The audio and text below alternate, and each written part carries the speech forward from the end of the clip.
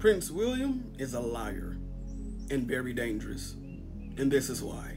Back in January of 2020, there was this joint statement that Prince Harry and Prince William allegedly had released stating that William did not bully Harry and Meghan to leave the family.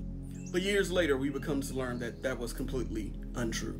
I was told about a joint statement would have been put out in my name and my brother's name, squashing the story about him bullying us out of the family. I couldn't believe it. No one had asked me.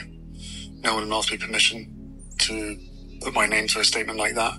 Prince William's camp denied that he leaked negative stories about Harry and Meghan, but we know that was not true because Prince Harry himself admitted that Prince William has leaked stories about him and planted stories. Or the time all the way back in November of 2016, Prince William denies report that he disapproved of Prince Harry's statement about Meghan Markle.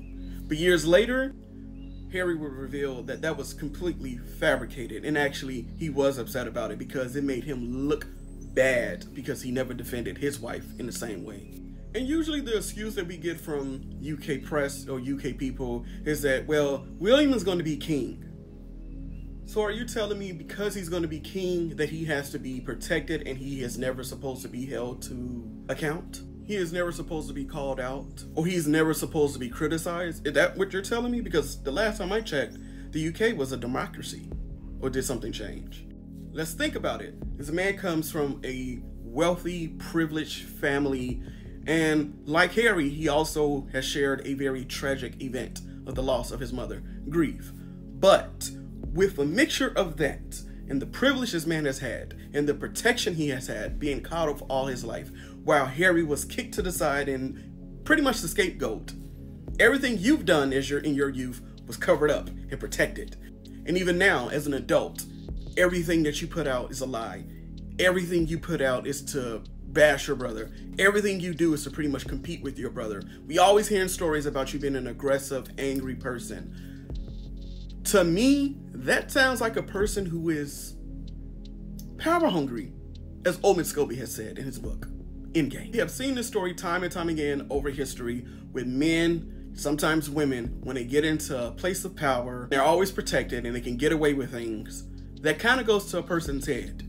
And then they end up thinking they can do anything. Almost to the point that they go mad. And to a certain extent, you could have said, well, Harry was the same way.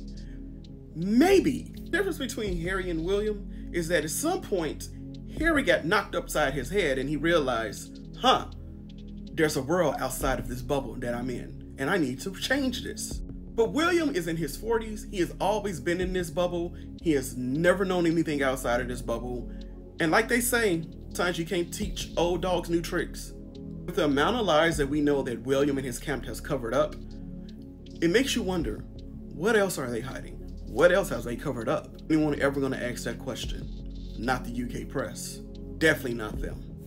And guys, if you enjoy my content, please make sure that you give me a follow, like, repost, share this video, and leave a comment. I would love to know what you think.